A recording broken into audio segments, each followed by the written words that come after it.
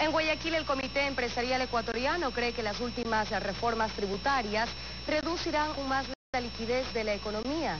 Incluso pueden agudizar los niveles de recaudación tributaria. Veamos.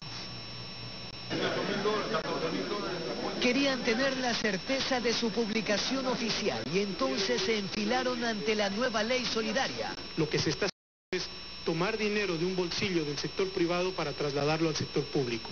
Menos liquidez, menos ventas, menos producción, menos inversión.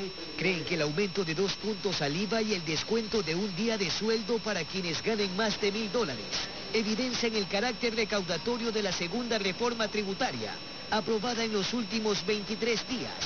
Aún así, el sector empresarial va a emprender una red de articulación privada que nos permita abrir un paraguas de empresarios por la reconstrucción. Para el presidente de la Cámara de Comercio de Guayaquil, en tiempos de contracción económica no caben otros senderos ni puentes. Conquistar capitales productivos. Y conquistar tiene que ver con enamorar, con, con hablarle bonito a la gente que produce, que emprende, que los pequeños sean medianos, que los medianos sean grandes, que las empresas grandes sean más grandes. Eso le hace bien al país. Pero aquello no sería lo más nocivo para la actual contracción, según Francisco Alarcón. Entonces, ¿qué va a venir después? ¿Van a venir más reformas tributarias? ¿Van a venir más impuestos? Esperan que su pronunciamiento abra un compás de diálogo y debate, que dicen, sigue siendo de una vía.